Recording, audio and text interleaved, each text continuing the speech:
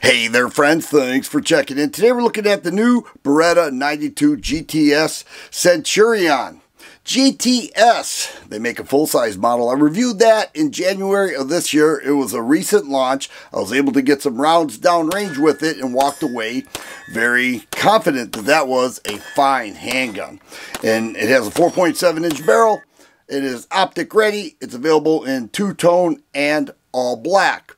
But now they came out with the Centurion. What is the Centurion? Because Beretta has other handguns that are called Centurion. This is a GTS Centurion.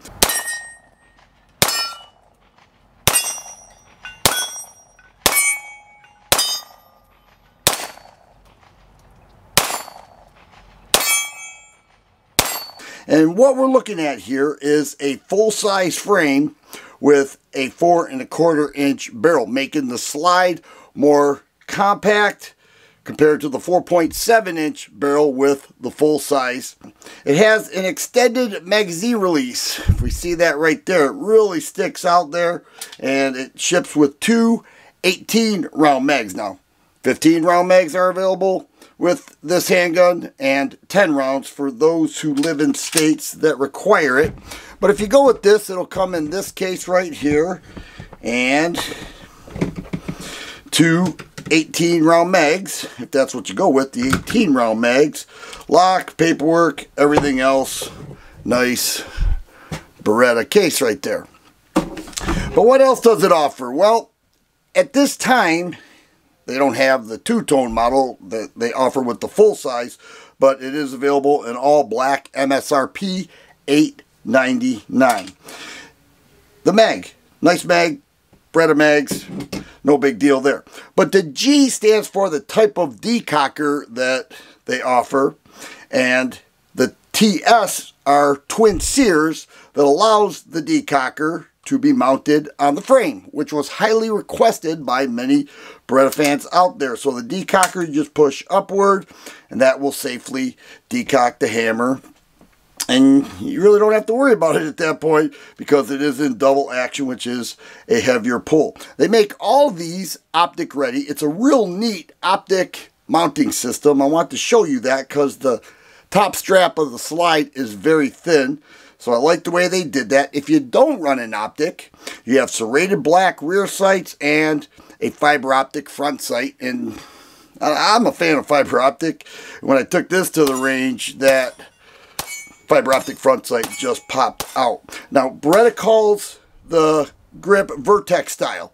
A little more vertical, makes more natural point of aim when firing the handgun, and they have done very well because many of their releases have been Vertec style grips. Also, the trigger is Extreme S. We'll show clear here.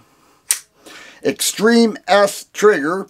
And what does that mean? Well, it's pretty light and crisp with a short reset.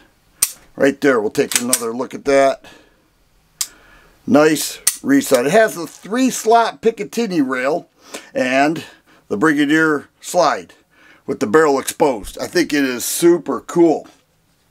Now, the trigger guard bevels down a little bit.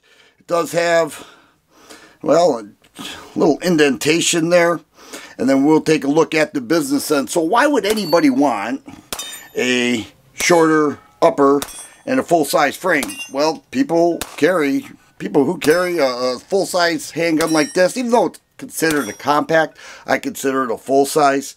It is a lot easier to do just with a, with a shorter barrel. I took those two top pieces off and that's what it looks like. Right, simple hex wrench. And here is the plate. This is cut to fit an RMR footprint. You have to order it separate from Beretta. Costs 45 bucks.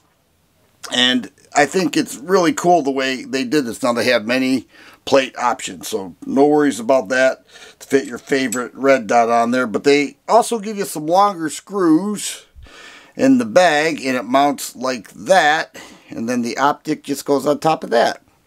Very interesting concept. When I first saw it, I had no idea how they did that. Now that I have this, I have a much better idea. And it looks like this with an optic mounted. So I have a Swamp Fox Justice 2 which is an RMR footprint that I'm going to put on this and get it back to the range and sight that thing in because a handgun of this quality deserves an optic. Let me show you how the 92 GTS Centurion disassembles. We'll go ahead and show clear.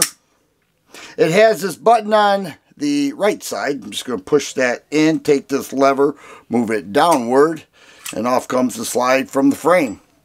Check out those frame rails. Rather thick. Here we have a uncaptured recoil spring and the four and a quarter inch barrel. And then you have to move that downward. Alright. Put it back in. Same same disassemble that many people are used to with the 92 series. That's why it's a 92 GTS. Couldn't wait to get my hands on this, to be honest with you. I, I love the 92 series. And just push it upward. Beretta has another Centurion. It's called the GTS Centurion. Really like the Extreme S trigger. Fell in love with it. I, I said I was going to get that full-size GTS, but then they came out with the Centurion with the four and a quarter inch barrel. MSRP once again, $8.99, which is the same price with the black model with the 4.7 inch barrel. Okay, it's not the Centurion, it's the Beretta 92 GTS. This is the Centurion. So if you're wondering, Beretta came out with another Centurion. What in the world is it? Well, here it is. And this is a first look. And I took it to the range without an optic and shot it incredibly well. Just loved it. Now I can't wait to get an optic on there and hopefully improve the speed of my shots when transitioning because that is what an optic will do for you. If you like videos like this, please subscribe and share. I always appreciate thumbs up button. Thanks for watching and you guys be safe.